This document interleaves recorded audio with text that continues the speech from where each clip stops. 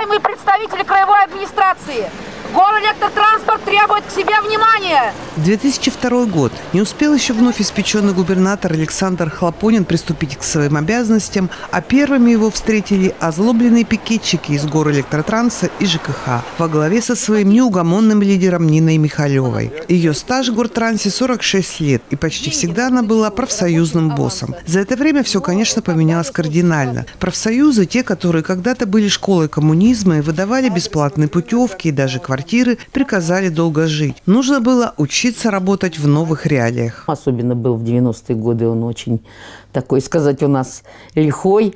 Вот тогда мы учились работать, э, учились, как себя вести с работодателем, учились, как себя вести с властью, учились, э, как вести себя с бандитами, потому что все приходили и все требовали, и всем все хотелось.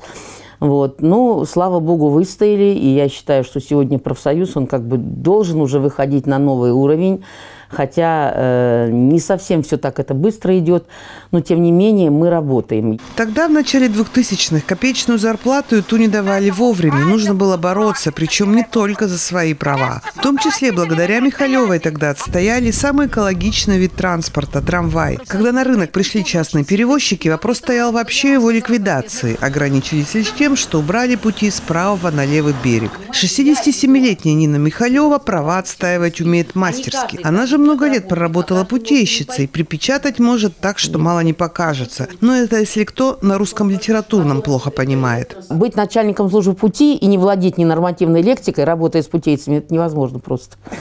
Там по-другому никак. Там только некоторые слышат именно те слова, которые хотят слышать.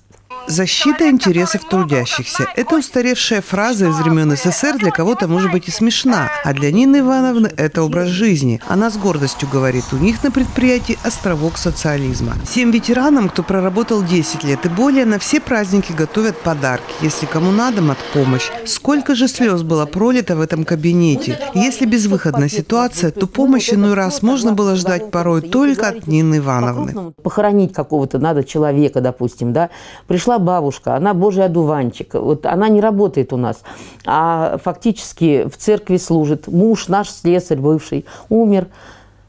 Куда идти?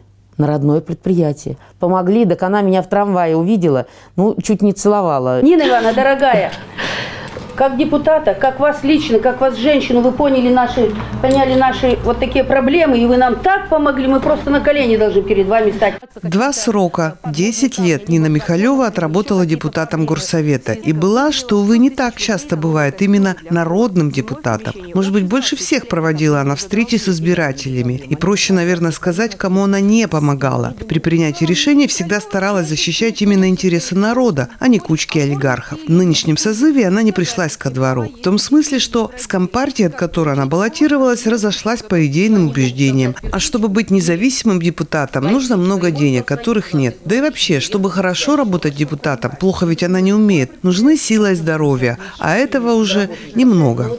Я вспоминаю сегодня Анатолия Ивановича Матюшенко. Он говорил, Нина, не надо тебе быть депутатом. Ты помогаешь людям, но ты все пропускаешь через себя. Тебе это аукнется в будущем. Но оно аукнулось на сегодня. То есть, ну, 10 лет, я считаю, это вполне достаточно. Вполне достаточно, чтобы э, понимать, что есть власть, что есть народная власть. Со своим любимым мужем Анатолием Нина Михалева вместе уже 46 лет. У них взрослый сын, дочь, есть внучка. Ее отдушина – это дача, где она обожает выращивать не цветы, а помидоры. Вкуснее, между прочим, чем минусинские. Это ее слабость. А еще одна слабость – трамваи, на которых она иной раз может покататься просто так. На обновленных троллейбусах и трамваях в нашем городе, говорит она, проехать сейчас вообще одно удовольствие.